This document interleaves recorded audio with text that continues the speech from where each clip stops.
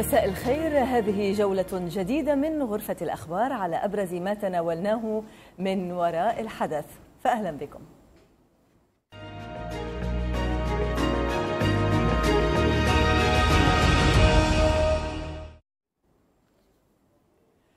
وسط الأحزان والمآسي التي يعيشها الروهينجا بفعل الاضطهاد الذي يمارس بحقهم إلى حد وصل بالأمم المتحدة لوصفهم بالأقلية الأكثر اضطهادا في العالم تتجه الأنظار إلى الجالية البرماوية التي تعيش بسلام منذ عشرات السنين في المملكة العربية السعودية. وقد سموا بهذا الاسم نسبة إلى بورما الاسم القديم لميانمار. فما يقارب الربع مليون مواطن برمي يعيشون في السعودية منذ نصف قرن هربا من عمليات التطهير العرقي والديني التي تعرضوا لها ليندمجوا في النسيج السعودي ولديهم حيثيتهم الخاصة. فالمملكة لم تأل جهدا إزاء المأساة الإنسانية التي يعيشها مسلمو الروهينجا في ميانمار والتي عبرت مرارا وتكرارا عن إدانتها لاستمرار أعمال العنف في حقهم وما يعانونه من حالات القتل والاغتصاب والتعذيب والإخلاء القسري للسكان. أخبار الآن التقت برماويين في جدة. والله نحن كأفراد ما بيدنا شيء. مع ذلك أنا من خلال هذه القناة المباركة أناشد جميع المسلمين رجالا نساء كبارا صغارا أن يتضرعوا إلى الله عز وجل ويستمدوا العون من الله عز وجل. فأن أخص أصحاب الأموال وأصحاب الأقلام. أصحاب الأقلام يتفرغوا لهذه القضية. كثير من الناس بإمكانهم أن ينصروا أركان وأهل الأركان إما بالأقلام إما باللسان أنا ما أقول يعني ينصروهم بالسنان والأسلحة. ترى هناك أهم من الأسلحة وأهم من الأمور هذه. ترى بإمكانهم يتضرعوا إلى الله عز وجل. الله عز وجل يقول وقال ربكم ادعوني أستجب لكم. أين أنتم من الدعاء؟ أين أنتم من القلم؟ أين أنتم من أين أنتم يا أهل الإعلام؟ إحنا نطالب ونناشد جميع دول الإسلامية يعاونون في الضراء والسراء في أمورنا الآن. فنناشد غير المسلمين وأمم المتحدة على رأسهم. كل شيء في أعينهم ظاهر. ما نقول حرقوا حارات قرية كاملها أبادوا البشر كامل إلا هم مطلعين بالقمر الصناعي إثبات من دون ما إحنا نقول بالجوال. شيء مثبت بالقمر الصناعي مدن قرية كومبليت ينحرق ويتهجروا ويصيروا لاجئين في بنغلاديش. ما في مين يمونهم حتى كاسة موية. يعني بعد ما اندلعت الحروب في البلد إنه حكومة المملكة العربية السعودية سهلت كثير أشياء كثير أشياء يعني من حيث التعليمي الآن آخر ما وصل لأنه إيش تم تصحيح وضع آه وضع 43 ألف طالب وطالبة ودمجهم في ودمجهم في مدارس الحكومية مجانا في جميع المراحل. هذا شيء يذكر فيشكر للحكومة السعودية. الآن المحرقة الأخيرة يوم 25 أغسطس 2017 المسلمون كانوا في استعداد للأضاحي وللعيد يعني تاريخ اثنين من ذي الحجة. فالناس ما كانوا يعرفون. لكن في الليل جاء الجيش وقوات بورما بدأت إحراق قرى في الليل ساعة اثنين. الناس ما ما كانوا يعرفون. فصار يعني أصبح الناس قتلى وجرحى. وفي الصباح لما يعني أيقظ الناس وجد هناك يعني نيران مشتعلة في القرى. وعدد كثير من الناس قتلى وجرحى. ففوجئ الناس ومن هنا بدأت الهجرة. الناس يشردون ويفرون من هذه المعركة. الآن الناس وصلوا إلى حدود بنجلاديش أكثر من 600 ألف. طبعا المقاطع والصور والأخبار تصلنا يوميا في في لحظتها وقت حدوثها.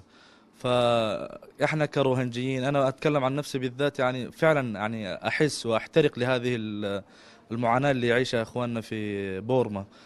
فيعني قد ما نقدر يعني أضعف الإيمان يعني ننشر هذه الأخبار والمقاطع والصور في وسائل التواصل الاجتماعي و ولدينا يعني إحنا في الجالية البرموية هنا في المملكة العربية السعودية لنا مركز إعلامي متخصص تحرر الأخبار بلحظتها وتنشر في المواقع والصفحات الرسمية في تويتر وفيسبوك وإنستغرام وكل المواقع.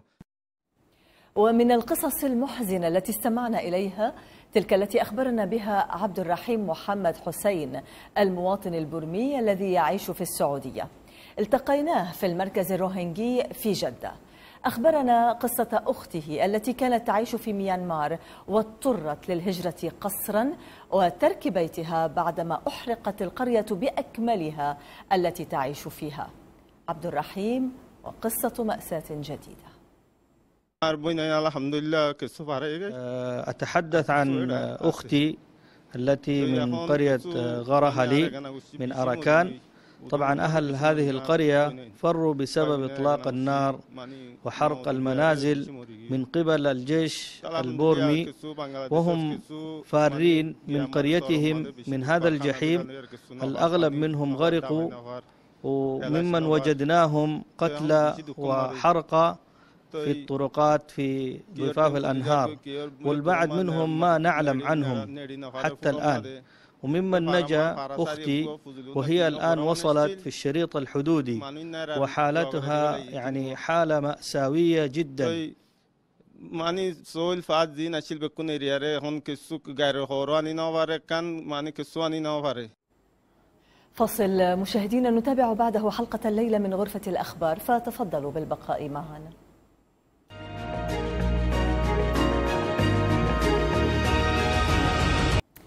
أهلا بكم من جديد. تناوب قياديون من داعش على ابتزاز ومساومة عائلة موصلية على حياة ابنها ضرغام الذي كان يعمل صحفيا في مدينته حتى اعتقلته وحدة استخبارية تابعة للتنظيم بتهمة التخابر مع القوات الأمنية. إلا أن الأمر كان خداعا إذ أخذوا يستنزفون أموال العائلة ومقدراتها مقابل الإفراج عن ابنها وعدم قتله. مفاد أخبار الآن إلى العراق حسام الأحبابي التقى هذه العائلة وأعد هذا التقرير. بعد أن تنافسوا الصعداء على خلفية تحرير الموصل من احتلال داعش لم تكن الآلام التي تسبب بها التنظيم لعائلة أبو ضرغام الموصلي قد شفيت من صدور أفرادها حيث قاسوا الأمرين على أيادي مقاتلي داعش المحليين والأجانب ابتزازا وتهديدا للحياة. اجوا الليل ماخذين ابني. ثاني يوم الصبح اجاني واحد. أنا بصراحة ما أعرفهم يعني ما أعرف أسمائهم. قال ابنك أنا أقدر أطلعه. قلت له زين أنت شلون يعني؟ بأي طريقة راح تطلعه؟ ابني لا عنده توبة ولا مسوي له توبة اني بعد. قال حجي أنا بالنسبة لي أقول لك أنا أطلعه وأنا أجيب لك هو البيت المقابل شنو؟ قال مقابل 2500 دولار. لم يكتفي مقاتلو داعش من استنزاف عائلة أبو ضرغام ماديا ومعنويا فتناوبوا على ابتزازه ومساومته على حياة ابنه منذ أن أطلقوا سراحه مقابل مبالغ طائلة تضمنت إصدار ما يسميه التنظيم ورقة التوبة مقابل ترك ضرغام لحال سبيله لكنهم لم يفوا بوعودهم الزائفة فطالبوه حتى بممتلكاته الشخصية. قلت له أخي والله إحنا سلاح ما عندنا قال اني ما مشكلتي. ضرغام يبقى هنا يمنا. تجيب لنا البندقية وتجيب لنا ال 400 دولار وتأخذ ابنك. وراها هم بفترة جو قاموا يتحججون عليه. ساوموني هم على فلوس. هم انطيتهم 1500 دولار. جو علي يوم من الأيام الساعة واحدة بالليل. دنيا شتاء دقوا الباب. قال وين ضرغام؟ قلت له ضرغام ما موجود.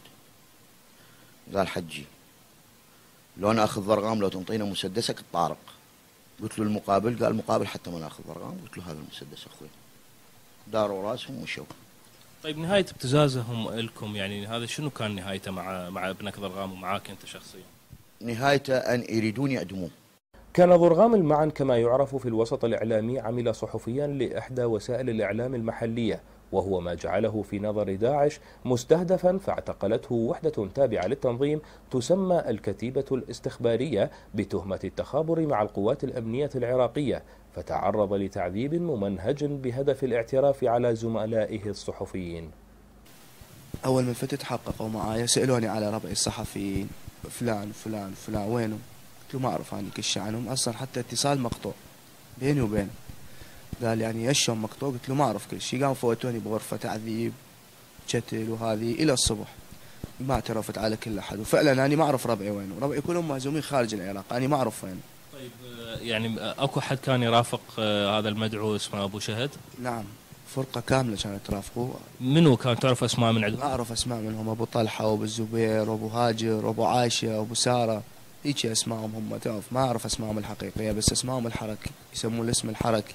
هذول كلهم كانوا معاه بالفرقة مال استخبارات داعش؟ نعم كلهم كانوا معاه بالفرقة بالاستخبارات مال داعش واللي عذبوني أبو الزبير وأبو عائشة منذ الفترة الأولى لاحتلال داعش الموصل سعى مقاتلوه وقادته إلى ابتزاز الموصليين وإكراههم في أموالهم وأبنائهم دون أن يكترثوا لمصير عائلات وقعت ضحية إرهابهم وقمعهم فكشف الموصليون خديعة خلافتهم المزعومة التي تحرروا منها أخيراً وفي مشهد آخر من مشاهد نفض غبار داعش أطلق متطوعون من شباب الموصل حملة لإعادة تأهيل مدينة ألعاب المدينة وتنظيفها بعد أن كان التنظيم يمنع أطفال المدينة من اللهو في متنفسهم الوحيد فضلا عن سرقته كل مقتنياتها لاستخدامها بأغراضه الإرهابية.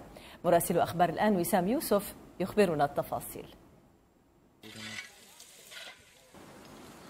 إصرار أهالي مدينة الموصل على إعادة مدينتهم إلى طبيعتها مستمر من خلال تأهيل كافة مرافقها الحيوية. واليوم يحاولون إعادة الحياة إلى مدينة الألعاب بعد أن سرق مقاتلو داعش كل إمكاناتها التقنية. الأجهزة السيطرة كلها انسرقت. أي آه المخازن ما انسرقت. القسم الفني والورشة الفنية كانوا عصابات داعش. تصور شلون يعني يستخدموها لأن سيطروا طردوا كل المنتسبين شو سيطروا عليها. فكانوا إيه آه يعني يستخدموها. فسرقوا كل العدد الفنية والعدد ال... مقاتلو داعش بعد أن سرقوا كل ما أتيح لهم من هذه المدينة واتخذوا من بناياتها مقرا لهم.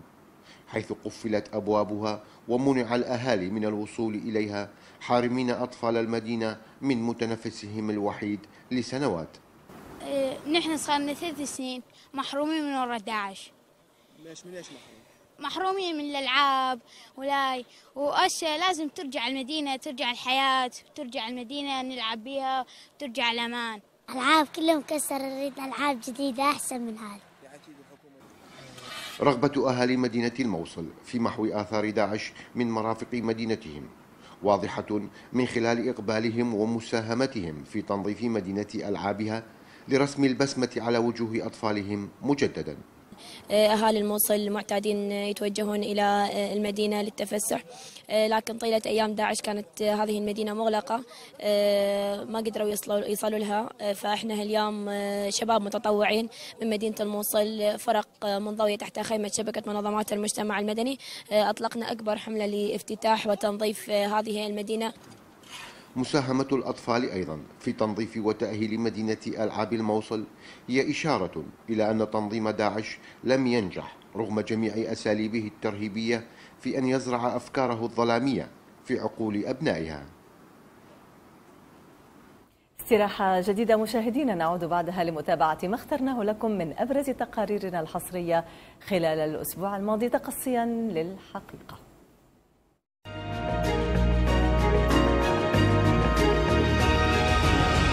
مرحبا بكم. ناجي بو حسن سائق السيارات اللبناني حقق نجاحا عالميا ورقما قياسيا بقدرته على تحريك خمس سيارات في آن لفتتنا هذه الموهبة إن صح التعبير التي استلزمت الكثير من التدرب والجهد. فالتقينا ناجي الذي دخل بهذه الحركة الخماسية كتاب جينيس للأرقام القياسية. المزيد في التقرير التالي.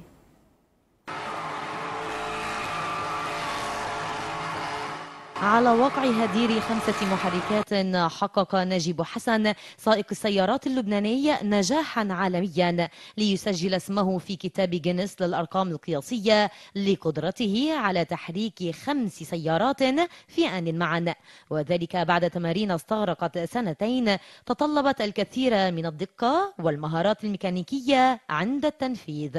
بالمبدأ هو هذا شيء بصير شيء اذا بدك روحي بيني وبين السيارة لأن أنا قد ما صرت متعايش معها صارت شقفة مني. فأنا بطبيعة الحال مستعمل آه، أشياء équipe بستعملهم بالسيارة. بخلي الكيدون يقفل بخلي الفريم آه، دولاب معين يقفل بخلي دعسه البنزين تقفل. وبفتح الباب وبنزل. هلأ هيدي الشغلة بصير بدها شوية تكنيك كيف دعسه إجري وين بدها تكون. أنا عم بنزل وأنا عم بطلع. بصير بترك أول سياره بروح للثاني بعمل نفس الشيء وبروح للثالثه ونفس الشيء للرابعه بس هذا الشيء بده يكون كثير سريع لأنه ما تنسي السيارة بتكون موتورها عم يبرم سريع عم تعمل burnout يعني بدك تلحقي قبل ما يخلص الدولاب بدك تلحقي قبل ما تحمى السيارة بدك تلحقي قبل ما يصير معي أي شيء مش طبيعي. قيادته للسيارات انتقلت من هواية في الشارع إلى احترافية عالية مصقولة بالمهارات والخبرة والسلامة. ناجي كيف كانت البداية؟ أول شيء كانت آه، إذا بدك مشان نكون صريحين كانت من الشارع. كنت أنا شفت مثل كل هالشباب إذا بدك اللي بتشفت على الطريقة اللبنانية كنا نشفت بالشارع. لحين ما إنه لقيت إنه عندي موهبة معينة قدر استغلها وأطلع من الشارع لأنه بتعرفي الشارع بسبب خطر لإلي بسبب خطر للآخرين. وصرت أنا أبتكر أشياء أعملها. صاروا يعزموني آه، الشركات أو الأشخاص اللي يعملوا إيفنتات كبيرة أفتتح لهم طريق أو أعمل لهم stunt show. وبلشت القصة معي فصارت مثل ما بقولوا آه، أطمح لأشياء أكثر وأكثر وقلت إنه بدي أعمل شيء بصمة. قد يكون لبنان على موعد سنويا مع نجاحات أخرى يتحضر لها ناجي بسبع سيارات على طريقة الستاند شو أو بعرض استثنائي من سيارتين بطريقة فنية إبداعية. آه، بدي أتمنى تمني خاص من منبركم آه، على الدولة اللبنانية بس على القليل تلتفت لهالشباب وهالمواهب اللي عندنا موجودة. على القليل تعمل لهم مساحات ليقدروا الشباب يتمرنوا فيها. يعني يكفينا خسرنا كثير شباب بالشارع بدنا نطلع من الشارع يروحوا على ساعات معينة يتسلوا فيها. وبنفس الوقت أنا بدي آه، خلي الشعب اللبناني والعالم كله ينطر كل سنة أنا بوعدهم ب record. وراح يكون كل record يمكن extreme و crazy أكثر من ال record اللي عملناهم وفي records رح يكونوا new records مش معمولين ابدا بالعالم. وأكيد كله أخوت وجنون. فإن شاء الله الله يوفقنا ومتكلين على الله. ويلا see you bye bye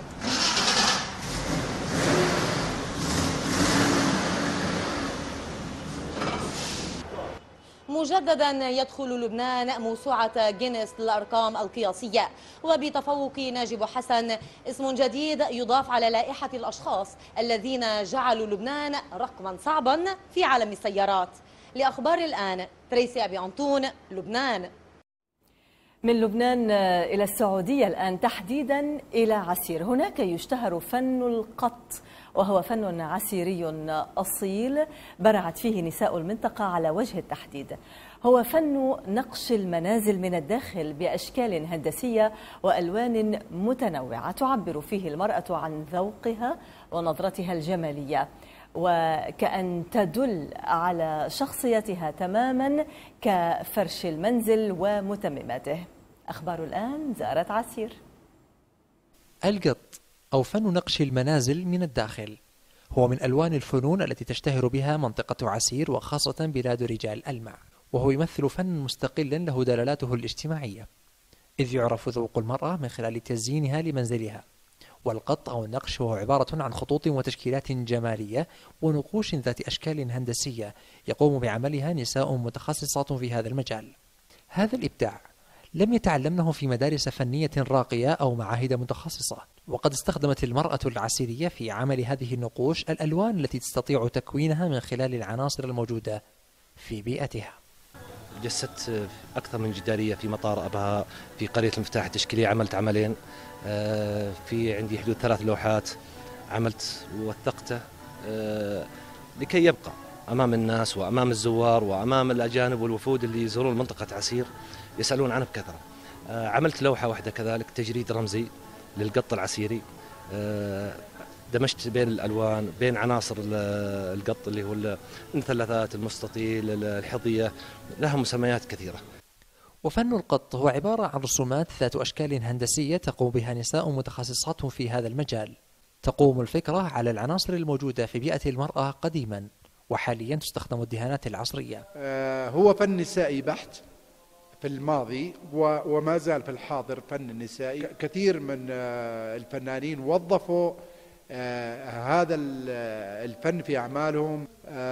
عمل ثلاث جداريات آه، وضعت آه، في الأمم المتحدة وكان الأستاذ علي مغاوي والفنانة فاطمة الألمعي مصاحبين لهذا العمل.